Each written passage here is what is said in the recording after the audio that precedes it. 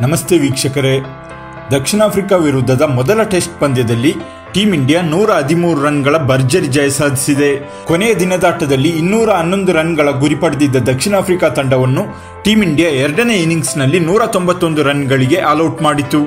ಈ ಮೂಲಕ ಮೂರು ಪಂದ್ಯಗಳ ಸರಣಿಯಲ್ಲಿ ಟೀಂ ಇಂಡಿಯಾ ಒಂದು ಝೀರೋ ಮುನ್ನಡೆ ಸಾಧಿಸಿದೆ. ಸೆಂಚುರಿಯನ್ನ ಸ್ಪೋರ್ಟ್ಸ್ ಪಾರ್ಕ್ ಮೈದಾನದಲ್ಲಿ ನಡೆದ ಈ ಪಂದ್ಯದಲ್ಲಿ ಟೀಂ ಇಂಡಿಯಾ ಮೊದಲ ಇನ್ನಿಂಗ್ಸ್ನಲ್ಲಿ ಕೆಎಲ್ ರಾಹುಲ್ ಅವರ ಭರ್ಜರಿ ಶತಕದ ನೆರವಿನಿಂದ ಭಾರತ ತಂಡವು ಮುನ್ನೂರ ಇಪ್ಪತ್ತೇಳು ರನ್ ಗಳಿಸಿತು. ಇದಕ್ಕುತ್ತರವಾಗಿ ಬ್ಯಾಟ್ ಮಾಡಿದ ದಕ್ಷಿಣ ಆಫ್ರಿಕಾ ತಂಡವು ಮೊಹಮ್ಮದ್ ಶಮಿ ಅವರ ಮಾರಕ ದಾಳಿಗೆ ತತ್ತರಿಸಿತು. ಅದರಂತೆ ಐದು ವಿಕೆಟ್ ಉರುಳಿಸಿದ ಮೊಹಮ್ಮದ್ ಶಮಿ ಸೌತ್ ಆಫ್ರಿಕಾ ತಂಡವನ್ನು ಕೇವಲ ನೂರ ತೊಂಬತ್ತೇಳು ರನ್ಗೆ ನಿಯಂತ್ರಿಸಿದರು. ಮುನ್ನಡೆಯೊಂದಿಗೆ ದ್ವಿತೀಯ ಇನ್ನಿಂಗ್ಸ್ ಆರಂಭಿಸಿದ ಟೀಂ ಇಂಡಿಯಾ ನೂರ ಎಪ್ಪತ್ನಾಲ್ಕು ರನ್ಗೆ ಆಲ್ಔಟ್ ಆಯಿತು. ಅದರಂತೆ ಮೊದಲ ಇನ್ನಿಂಗ್ಸ್ನ ಮುನ್ನಡೆಯೊಂದಿಗೆ ದಕ್ಷಿಣ ಆಫ್ರಿಕಾಗೆ ಎರಡನೇ ಇನ್ನಿಂಗ್ಸ್ನಲ್ಲಿ ಮುನ್ನೂರ ಐದು ರನ್ಗಳ ಟಾರ್ಗೆಟ್ ನೀಡಿತು. ಕೊನೆಯ ದಿನದಾಟದ ವೇಳೆ ದಕ್ಷಿಣ ಆಫ್ರಿಕಾ ತಂಡವು ಇನ್ನೂರ ಹನ್ನೊಂದು ರನ್ಗಳ ಗುರಿ ಪಡೆದಿತ್ತು.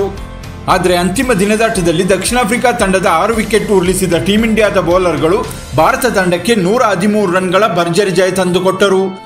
ಇನ್ನು ಮೊದಲ ಟೆಸ್ಟ್ನಲ್ಲಿ ಕೆಎಲ್ ರಾಹುಲ್ ಒಟ್ಟು ನೂರ ನಲವತ್ತಾರು ರನ್ ಬಾರಿಸುವ ಮೂಲಕ ಬ್ಯಾಟಿಂಗ್ನಲ್ಲಿ ಮಿಂಚಿದರೆ ಮೊಹಮ್ಮದ್ ಶಮಿ ಎಂಟು ವಿಕೆಟ್ ಉರುಳಿಸಿ ಗೆಲುವಿನ ರುವಾರಿ ಎನಿಸಿಕೊಂಡರು. ಅಂದಹಾಗೆ ಸೆಂಚುರಿಯನ್ ಮೈದಾನದಲ್ಲಿ ಟೀಂ ಇಂಡಿಯಾಗೆ ಇದು ಚೊಚ್ಚಲ ಗೆಲುವು ಎಂಬುದು ವಿಶೇಷ. ಈ ಮೈದಾನದಲ್ಲಿ ಈ ಹಿಂದೆ ಎರಡು ಪಂದ್ಯಗಳಲ್ಲಿ ಟೀಂ ಇಂಡಿಯಾ ಸೌತ್ ಆಫ್ರಿಕಾ ವಿರುದ್ಧ ಸೋತಿತ್ತು.